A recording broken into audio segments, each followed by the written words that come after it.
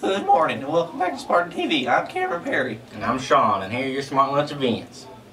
3v3 basketball will be today in the main gym. Drama Club will meet in the theater. Cadet Department head training will meet in the ROTC spaces. A Disney movie marathon will be playing in room 209. Hope and Gym will be both lanches. And now for them good old sports. Softball. One, There, Conference. Four, the, Second. year, in, A. row, baseball, Lost. five, two, Four. against, Alexander, Central.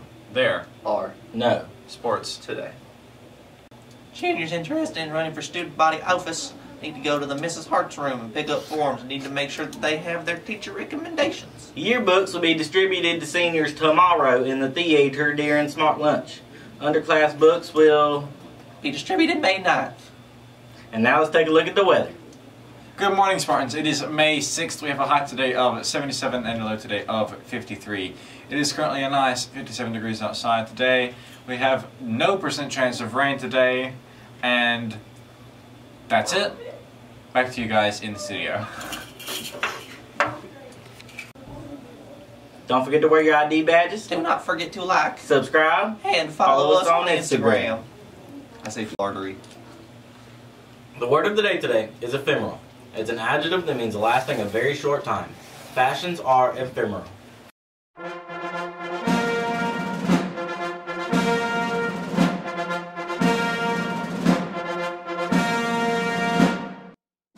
And now, for your 2020 class senior representatives.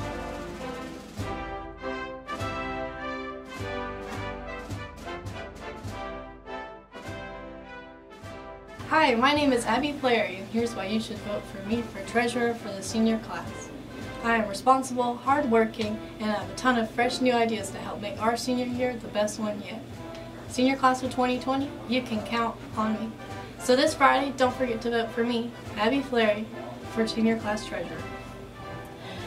Hello, I'm Jessica, and I'm running to be the secretary for the 2020 senior class. Vote for me, it's the right thing to do. I'm Brianna Berry, and I'm running for Senior Class Vice President. Senior year will be the one we remember for the rest of our lives. I want to help make this year memorable by hosting events like senior cookouts and senior semi-formal dances. I am ready to put in the hard work it takes to make this the best year yet. So vote Brianna Berry for Senior Class Vice President.